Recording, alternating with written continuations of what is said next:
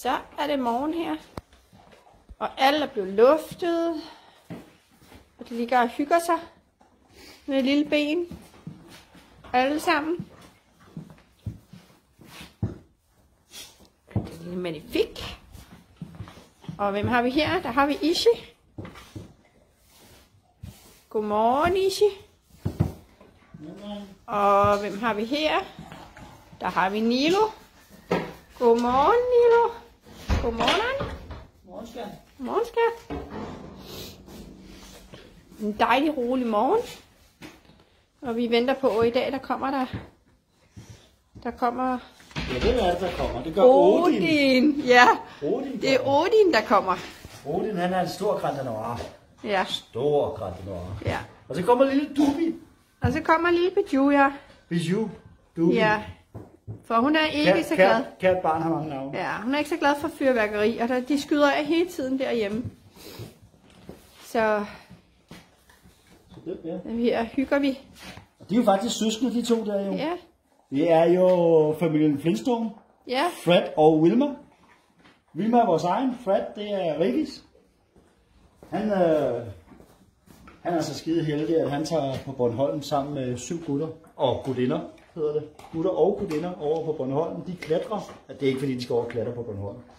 Men de klatrer ligesom andre, der spiller fodbold og badminton, ikke? Og så har jeg skidt over et sommerhus derovre. Og normalt så har han jo fat med og sådan noget, men han tænkte, ah, men han har det også godt her i... Øh. Så han skal lige være her nytåret over, ikke? Ikke fordi han er bange for nytårsfyrværkeri, men bare fordi han kan, ikke? Så det er hyggeligt. Men det er sådan, uh, det er sådan lidt sjovt, ikke? Det er sådan lidt sjovt. Fordi mange gange, så, så, så tænker man, øh, hvad fanden er det for noget med buer og alt muligt andet, ikke?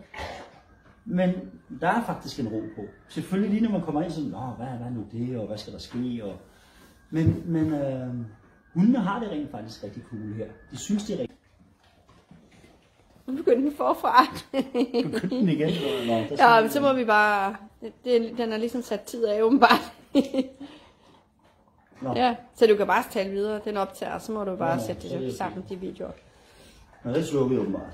Ja. Så, det er også skide koldt udenfor. Det er, sådan er det med elektronik, ikke? Så bliver det koldt. Det er ikke fordi, der er koldt herinde. Der er faktisk varme på. Varme varme.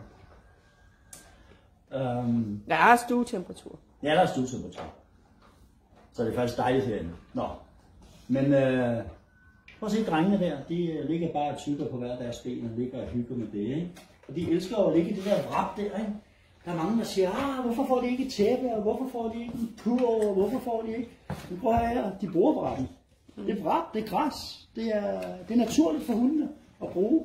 Og prøv at høre, er der nogen af jer, der nogensinde har set en kur, der er blevet bidt af helvedes til stykker, og, en, øh, og et tæppe, der bliver flået og alt muligt andet? Ja, det har vi set. Hvorfor? Ja, fordi de kan, ikke? Det der, de elsker det.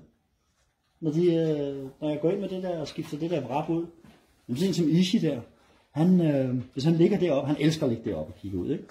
Øhm, så flytter han, rejser sig simpelthen, så, han, så jeg kan gøre plads, og så går han hen og lægger sig i den ene side, fordi jeg har lagt det der først. Ikke? Så går han derhen, og så får det andet. Han, han, han får ret seng, og så han elsker det simpelthen. Der er nok nogen, der tænker, hvad kommer de ikke ind? Jo, det gør de. Men vi har simpelthen tre piger, der er i øh, løb lige nu. Ja. Så drengene, de er, de er altså i den her afdeling. Og vores hunde, selvom det er træningshunde, så er de jo ikke anderledes end andre hunde Nej. med hensyn til løb. De vil jo også gerne, du ved. Og, og derfor har vi egentlig separeret Nilo siger, snakker I om løb? Ja, Ja, det gør vi. ja løb. Ja. Og hvor er de henne? Hvor er pigerne? Ja, hvor er de piger henne? Hvor er de piger henne? Ja. Er pigerne, skal Nå, men nu slukker jeg, fordi lige om lidt, så, så går Det ud. Jamen, øh, vi snakkes ved derude. Det var bare sådan en hyggemorgen ting, ikke? Det var godt.